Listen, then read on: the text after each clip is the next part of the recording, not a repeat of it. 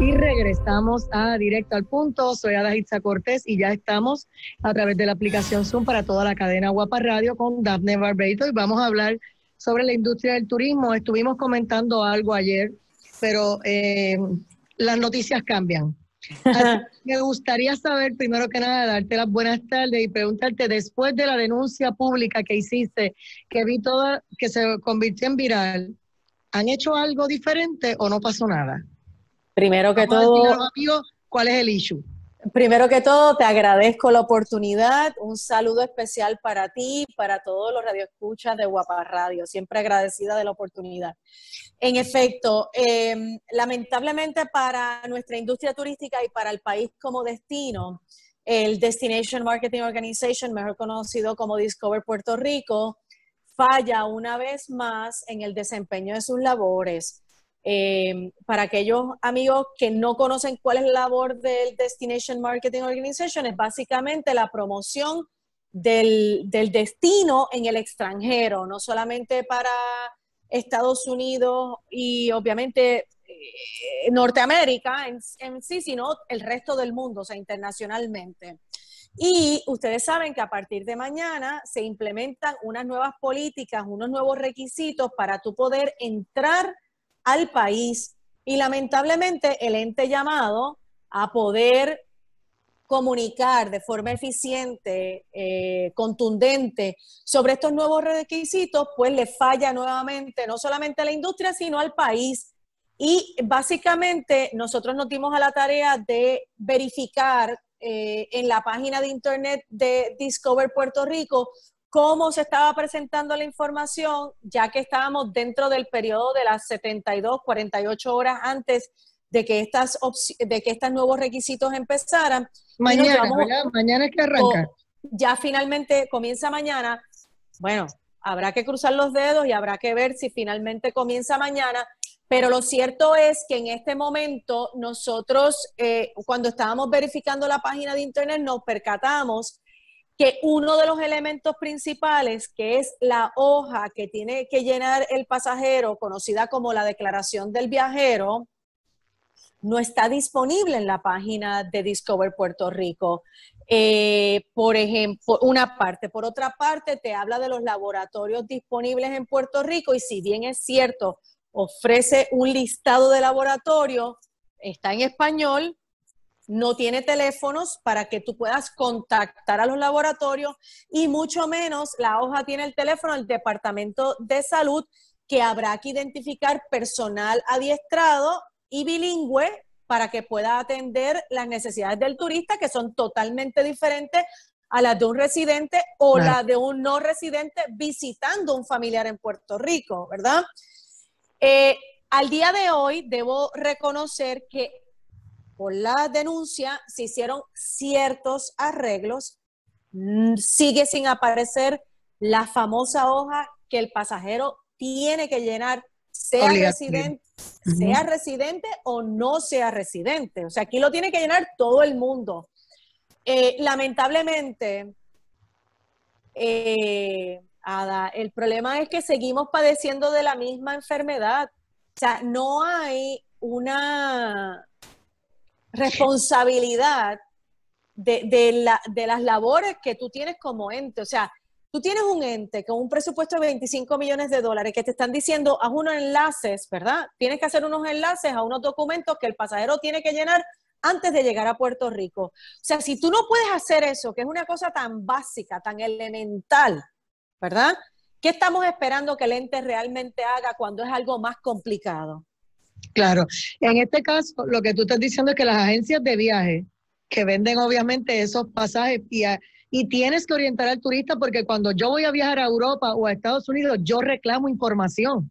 Yo le reclamo a mi, a mi agencia de viaje que me dé todos los detalles habidos y por haber y tú no se los puedes dar ahora mismo porque no los tienes porque están incompletos. Es peor que eso, Ada. No es, solamente, no es solamente mi renglón turístico, o sea, mi renglón de, agencias de viaje. Esto, no es, esto no está en las agencias de viajes de Estados Unidos, esto no está en los turoperadores de Estados Unidos que venden el destino, esto no está en los turoperadores, guías turísticos, transportistas de Puerto Rico, esto no está en ningún lado. Entonces, hoy, hoy aparece la famosa carta que la directora ejecutiva de la compañía de turismo le envía a las líneas aéreas el 12, el 12 de julio, o sea, 72 horas antes de empezar estas nuevas políticas, que ya las sabemos hace dos semanas, que debíamos haberlo sabido hace un mes para poderlas implementar como Dios manda, la directora de la compañía de turismo dice en esa carta que se van a crear dos páginas de internet nuevas que se llaman eh, travelsafe.pr.gov y no las van a publicar hasta mañana. O sea que todo aquel pasajero que tiene previsto llegar a Puerto Rico mañana, bueno, entonces tú tienes un secretario de salud que hace, hace, hace ayer, para mañana van a ser 48 horas, que dijo clara y contundentemente, aquel, aquella persona que venga a Puerto Rico, aquel turista que venga a Puerto Rico sin la prueba en negativo, que no venga, porque ahora nos, ahora nos enfrentamos a que no hay los reactivos para completar las pruebas eh, moleculares que nos hace falta para poder ser eficientes en los requisitos que el propio gobierno puso a los turistas y a, bueno, a todos realmente, porque nos aplica hasta los residentes. Y esas, esas directrices empiezan mañana. Nosotros como Alianza Turística por Puerto Rico llevamos tres semanas alertando, solicitando, pidiendo, recomendando que esto se hiciera desde otra perspectiva. Y fuimos desde reconocer que los grandes ausentes en esta conversación eran las líneas aéreas, y ahora nos confirma la directora ejecutiva con esta carta del 12 de julio que hace un mes ella no se comunica con las líneas aéreas, que son obviamente el elemento de acceso principal a la isla en este momento. También recomendamos que esta apertura técnica, porque nunca se ha cerrado el turismo, pero esta apertura técnica se moviera para agosto, porque ya hace un mes veíamos cómo los eh, estados principales que traen turistas a Puerto Rico y traen no solo los turistas de ocio, pero traen estos turistas que también vienen a visitar sus familiares, iba en crecimiento y había que tomar una decisión entonces sobre lo que habría que hacer para evitar a lo que nos exponemos mañana, que es una falta total de eh, lógica y de, y de estatutos claros para nuestros visitantes. Eh, así que lamentablemente no estamos en una buena posición, es lamentable, eh, pero como hemos visto en este, como estamos acostumbrados en este cuatrenio, es un poco más de improvisación que de, que de un trabajo bien hecho realmente.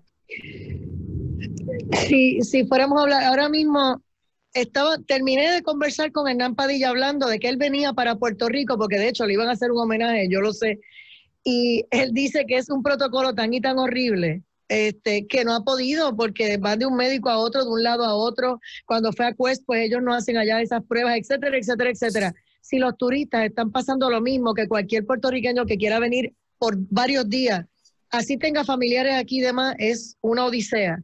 Eh, ¿Cómo es que vamos a levantar el turismo? Porque no sé, y ahora mismo sabes que los municipios como Cabo Rojo y otros están cerrando playas, cerrando eh, a las 7 de la noche y demás, pues porque eh, hubo aumento de COVID. Mira, Ada, lo hemos hablado muchas veces en este espacio, muchas veces, muchas veces. Pero hay que repetir. El problema, que tenemos, el problema que tenemos es que cuando el gobierno no consulta a la industria, a la que sea, tenemos estas situaciones. O sea, el que la industria quiera aportar de forma gratuita, que ellos no le tienen que pagar a consultores porque tienen los mejores consultores disponibles para ello, le hace un flaco servicio a su trabajo como, como empleados de gobierno pero mm. sobre todo a la industria y al país. Claro. Entonces, cuando tú tienes una promesa, que es lo que son estos requisitos, una promesa de lo que tú tienes que hacer para llegar al país, pero en las últimas 24 horas tú no has podido identificar, uno, dónde está la hoja de declaración de viajero para que tú la puedas llenar antes de llegar al país. Dos, ¿dónde está la aplicación que anunciaron con tantos vítores sobre el SARA Alert, que el pasajero también debería poderse registrar antes de llegar aquí. Tú no, quieres, tú no quieres crear un embudo en el aeropuerto de cientos de pasajeros porque no hicieron algo que con la tecnología actual tú lo puedes hacer antes de llegar y tenemos que recordar algo bien importante, porque no quiero, fíjate, lo que he estado viendo en las redes, se está tratando de demonizar el concepto turístico, ¿ok? Y yo quiero claramente establecer algo. Una cosa es el turista de ocio y otro es el turista que viene a visitar familiares. El concepto turista le aplica a todo porque el turista es alguien que no vive en el destino que, visita y que está cierto tiempo menos, o sea, está cierto tiempo de visita, ¿verdad? Por eso es que los llamo a todos turistas. Ese turista que viene a visitar un familiar, a mi forma de ver esto, es el que realmente representa un riesgo grande para los contagios. El turista que viene por dos, tres días, que no excede de los tres días, porque esa es la tendencia del turista de ocio, ese turista no está interactuando más allá de un empleado del hotel, de un transportista, y esa gente ya está capacitada para atender esos asuntos. No así el turista que se va a hospedar con un familiar, que está en el chinchorreo con el familiar, claro. ¿Me entiende? Y eso es importante que lo hagamos la distinción porque son dos cosas totalmente diferentes y yo no quiero que una industria que le aporta tanto a este país, vengamos ahora con la historia porque el gobierno no traduce correctamente la información, vengamos a tratar de demonizar algo que no tiene razón de ser. Ojo, me consta que hay mucha gente que viene a Puerto Rico ahora, turistas de ocio, que están tratando de forma responsable de conseguir la información y ni la compañía de turismo, y ni el Departamento de Salud, ni el Destination Marketing Organization lo está ofreciendo. Y eso es negligencia crasa en el desempeño de las labores de cada ente en individuo y como colectivo. Este, y de hecho, el COVID va a entrar, o sea, ya hace rato está en el país y obviamente va a seguir por ahí un tiempo, todavía no hay vacuna ni medicamento, pero lo que sí se puede hacer es controlarlo y ser de una manera responsable. Y como bien dice, culpar a una sola industria porque es la que viene en barco o en avión, pues es irresponsable, pero mira ahora mismo, positivos en el, en el muelle de Ceiba, que es el único medio de transporte entre Vieques y Culebra, es la carretera de Vieques y Culebra, mis hermanos de allí. Y entonces, ¿qué vas a hacer? Porque hay, COVID allí, pues tienes que ir a desinfectar de inmediato. No puedes cerrar la carretera porque ese es el único medio de transporte de ellos. ¿O qué vas a hacer? Y el aeropuerto que tienen ellos. O sea, esto no puede ser. Sabemos que Aguadilla y Ponce cerraron y ese es un buen punto. Pero sabes que nadie está hablando de los pasajeros en tránsito que están llegando al aeropuerto internacional Luis Muñoz Marín que no pasan por ningún cernimiento porque nunca llegan al área de reclamo de equipaje porque están en tránsito y terminan llegando a Vieques y Culebras vía aérea sin que nadie los haya chequeado, dándole la responsabilidad a las islas municipios que no tienen los recursos.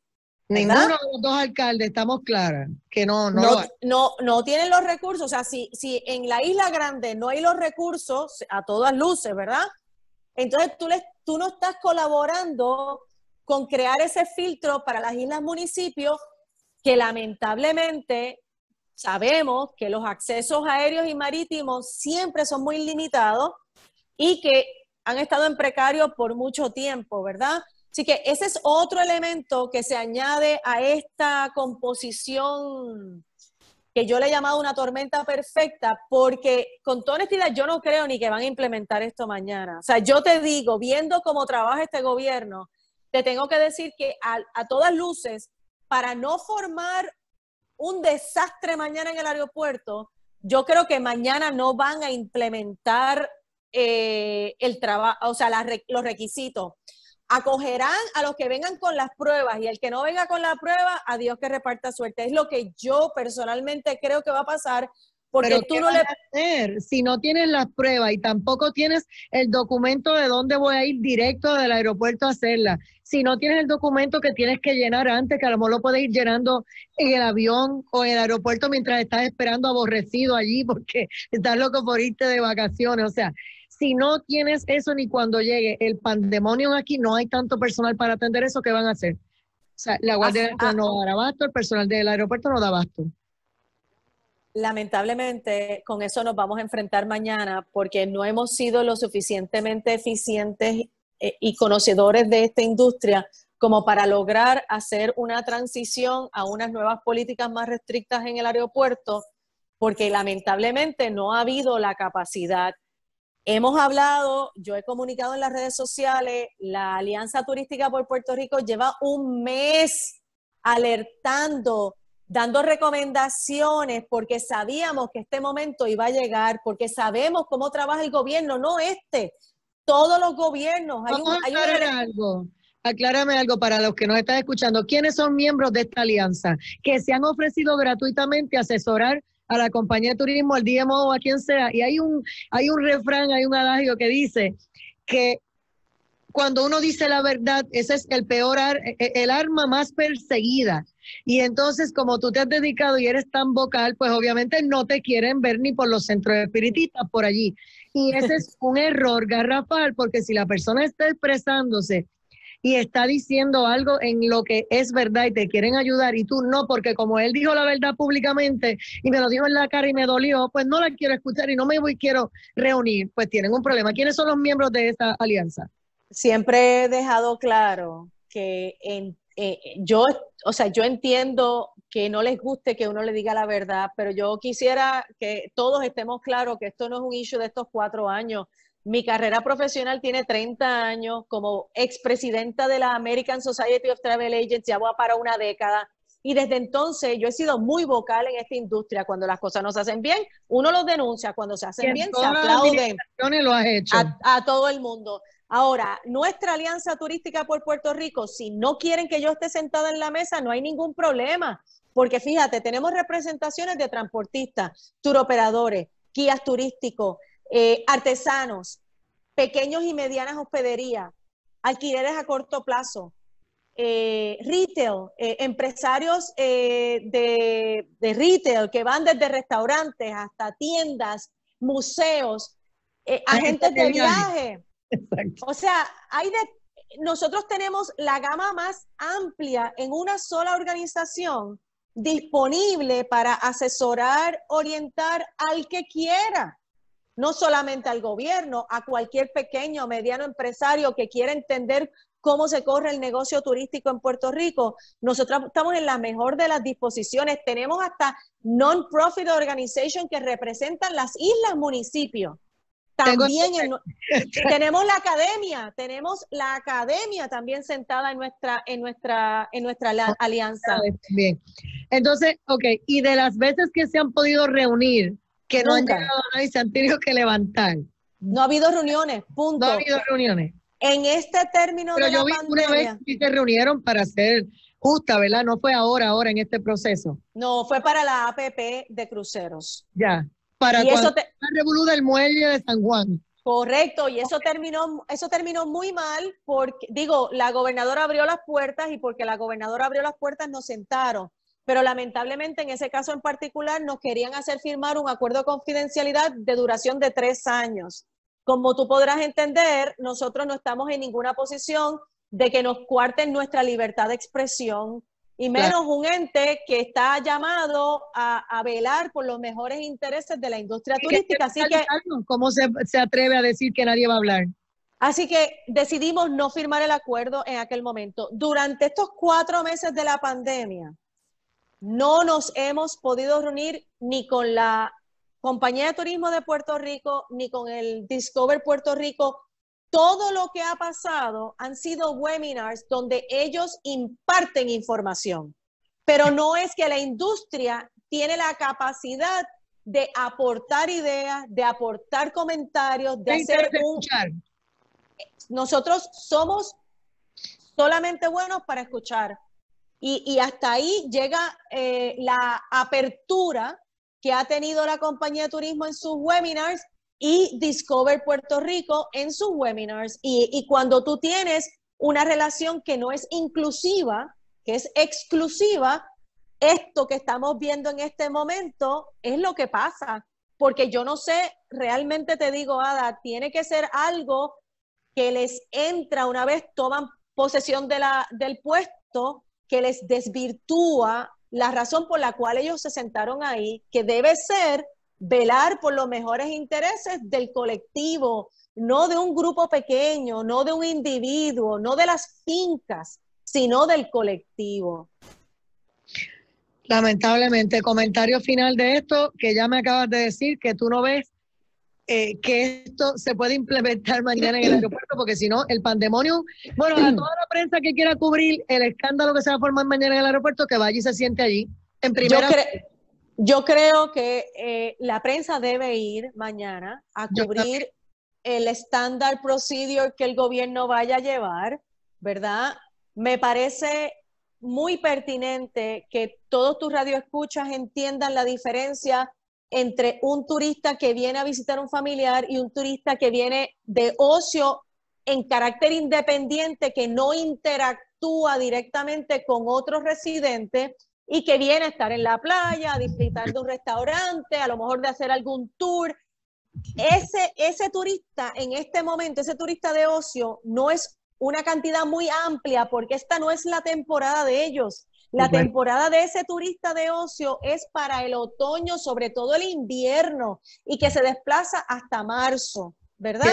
Noviembre, ¿verdad? Octubre, final de octubre, noviembre. Noviembre, diciembre, enero, febrero, sobre todo de enero a marzo. Esa es la temporada alta de este turista de ocio. En este momento, el, el cernimiento que tiene que darse en el aeropuerto, ¿verdad? Tiene que ser uno bastante restricto porque ya sabemos que la cuarentena obligatoria no va a funcionar porque no hay los recursos. La industria privada puede colaborar con el gobierno, pero no puede ser responsable de la implementación de la política pública porque en derecho, en temas legales, si el gobierno no puede implementar las pruebas en el aeropuerto, yo te aseguro a ti que la industria privada no va a poder implementar una cuarentena obligatoria por falta del, mismo recurso legal.